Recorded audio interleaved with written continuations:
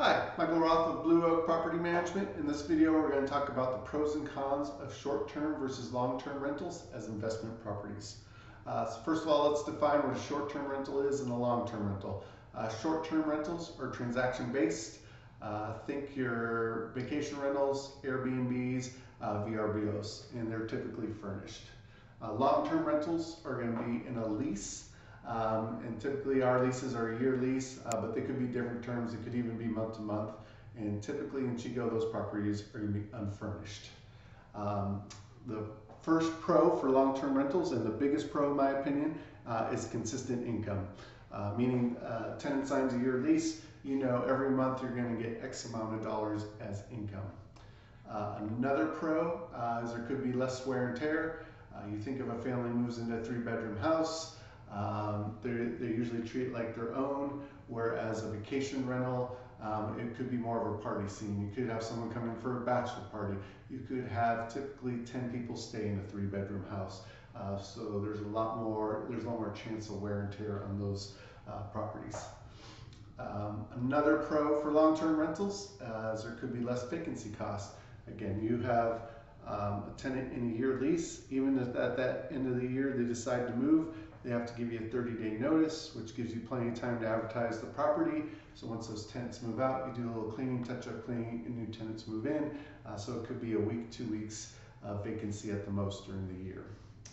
Um, another uh, pro is there is less upfront cost um, and monthly expenses uh, uh, long term. So if you think of short term property, if you buy short term, not only do you have to buy the property, uh, but then you have to furnish it. So you have to buy all that. Um, and then short term, they're also going to have to, you're going to have to pay all the utilities, whereas in the long term, um, it's unfurnished, and then the tenant pays usually all the utilities. So your only expenses, uh, besides taxes and insurance, might be landscaping and pest control.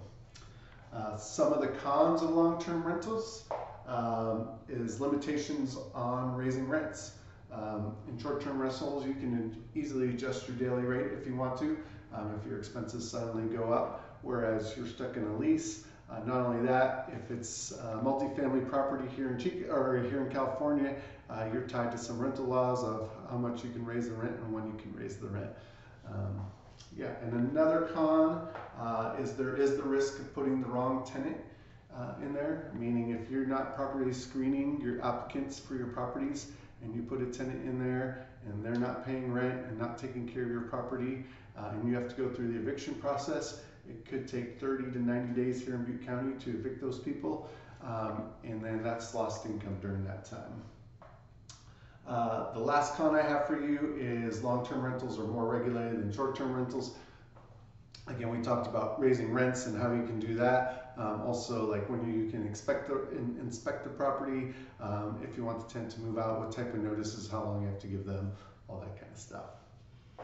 Um, okay, let's talk about some of the pros of short-term rentals. Uh, possibility of um, getting more income than uh, a long-term rental. Again, if you averaged out your daily rate um, on a short-term rental versus long-term rental, uh, the short-term's usually a lot higher because um, again, that's vacation, it's short term, all that stuff. So they're thinking hotel rates versus you know a monthly rent amount. So if you consistently are renting that place, you you have the chance of creating a lot more income uh, on the short term rental.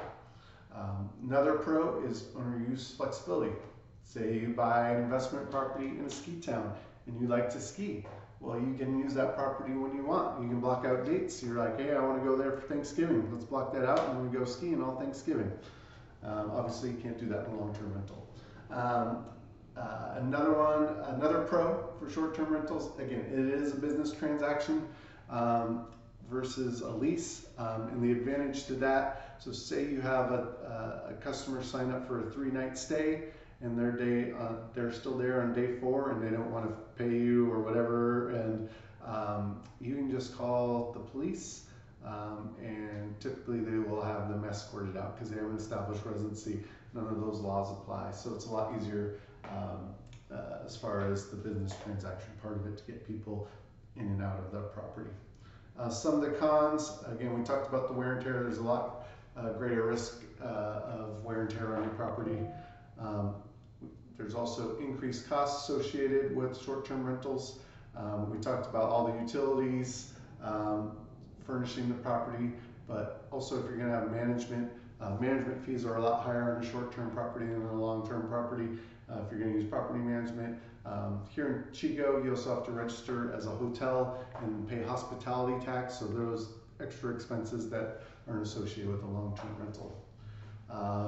Vacancy risk is a real, real uh, con here for short-term rentals. You could have you could have it fully rented one month and then doesn't rent for three months.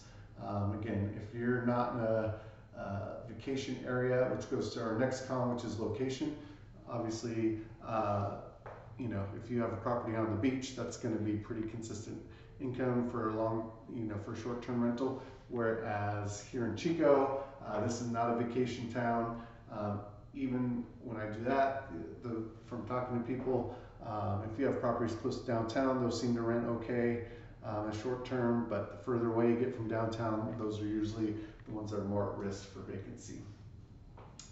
Um, lastly, inconsistent income, or again, as long term, you know, every month you're getting X dollars amount.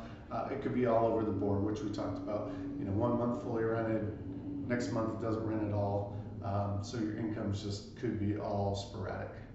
Um, and that's all I have for you. Um, check out our other videos on our website, blueoakchico.com, under our owner resources tab.